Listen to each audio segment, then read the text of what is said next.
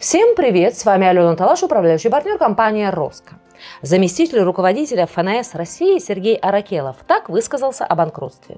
Основная проблема банкротства – его популярность. Оно остается способом уклонения от уплаты долгов. Действительно, согласно закону, любая сделка, которую совершал потенциальный банкрот за три года и менее до подачи заявления о признании себя несостоятельным, может быть оспорена арбитражным судом.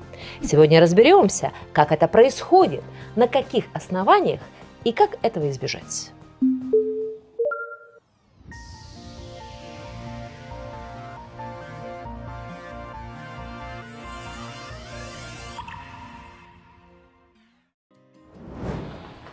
Почему сделки потенциального банкрота возможно оспорить? Дело в том, что в Уголовном кодексе есть статья о преднамеренном банкротстве – под которую подпадают действия должников, стремящихся уйти от исполнения своих обязательств, совершив сделки, скрывающие их имущество от кредиторов, при этом объявив себя несостоятельным. Именно для предотвращения таких ситуаций непосредственно в ходе процедуры банкротства представителями кредиторов и финансовым управляющим могут быть препарированы все ваши сделки за последние три года, а также совершенные сразу после подачи заявления на банкротство. Об одной интересной истории, связанной с банкротством, расскажет специалист по связям с общественностью компании «Роско» Ксения Снова. Оказывается, штрафуют не только недобросовестных граждан, но и ошибающиеся компьютеры. Так, после прохождения одной супружеской пары процедуры банкротства, банковский компьютер продолжал высылать им напоминания о долге. После обращения людей в банк сотрудники извинились, списав все на неполадки в системе, но уведомления продолжили приходить. Тогда было решено оштрафовать компьютер. Судья по банкротству приговорил его к лишению части постоянной и оперативной памяти. Вот такая история. Теперь рассмотрим, каковы основания признания сделки недействительной в ходе процедуры банкротства. В законе сказано о так называемых подозрительных сделках. Если за год до подачи заявления гражданином совершена явно неравноценная сделка, она может быть оспорена. Что значит неравноценная сделка? Это означает, что имущество продано по цене гораздо ниже рыночной. Например, автомобиль должника стоит 1 миллион рублей, а продан за 250 тысяч. Как определяется, сколько на самом деле стоит такое имущество? Суд анализирует общедоступные источники, в которых публикуются объявления о продаже таких вещей, уже бывших в употреблении, и рассматривает расценки на предметы с похожими параметрами. Если налицо явно несоответствие, такую сделку достаточно легко признать в суде подозрительной и объявить недействительной. Также, даже если цена кажется близкой к рынку, но есть основания полагать, что фактически денежные средства не перечислялись покупателям в сторону продавца, сделка тоже может быть оспорена. А у вас был такой опыт? Сталкивались вы с процедурой банкротства? Пишите в комментариях под этим видео.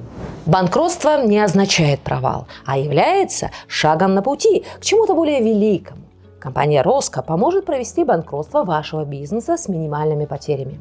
Для получения помощи наших специалистов позвоните по номеру, указанному на сайте, или оставьте онлайн заявку через форму обратной связи. Все контактные данные вы можете найти, перейдя по ссылке в описании к этому видео. Какие еще сделки могут быть оспорены судом при процедуре банкротства? Есть и другие возможные поводы к аннулированию договоров, заключенных с должником. Норма о трехлетнем сроке оспаривания сделок применяется не только к подозрительным операциям с имуществом, но и к ничтожным сделкам. Подробнее о таких сделках расскажет юрист компании «Роско» Максим Леонов. Первое. Мнимая сделка. Сделка, совершенная без правовых последствий. Например, вы оформляете брачный договор, по которому все имущество отходит супруге – разводитесь, но продолжаете при этом жить вместе и использовать имущество супруги. То есть фактически недвижимость осталась вашей, но перестала принадлежать вам лишь на бумаге. Второе. Притворная сделка прикрывает другую. Например, вместо купли-продажи происходит дарение. Третье. Заключена заведомо недееспособным лицом, несовершеннолетним, либо признанным судом недееспособным. Четвертое. Сделка совершена без согласия супруга, супруги, если речь идет о купле-продаже совместного имущества. Пятое. Сделка, совершенная не по доброй воле, давление, физическое воздействие, действие препаратов, алкоголя. По оспоримым же сделкам по другим основаниям срок давности составляет один год.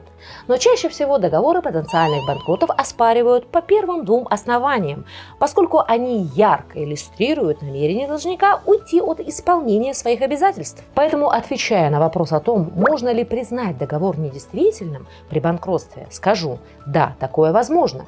Причем правом подать в суд наделены не только кредиторы или их объединения, но и финансовый управляющий, задача которого убедиться в том, что вы неэффективный банкрот. Более того, в законе о банкротстве говорится о том, что недопустимо предпочтение одного кредитора в пользу другого. Поэтому при банкротстве признание договоров недействительным возможно, если будет доказано, что одному из кредиторов в результате оказано предпочтение – но есть важное условие. Такие договоры должны быть заключены не ранее, чем за месяц до подачи заявления в суд. Существуют и исключительные основания, когда сделки, заключенные ранее, чем за 6 месяцев до подачи заявления, могут быть оспорены. Но для этого должно быть выполнено одно из двух условий. Первое. Сделка либо направлена на погашение долга перед одним из кредиторов, либо может привести к изменению очередности погашения долгов. Например, долг, образовавшийся в 2021 году, будет погашен раньше того, что возник в 2020. Второе условие. Кредитор заведомо знал, что должник не платежеспособен. Рада, что вы досмотрели это видео до конца. С вами была Алена Талаш. Если у вас остались вопросы после просмотра этого видео, смело пишите их в комментариях к нему. Юристы компании Роско с удовольствием на них ответят.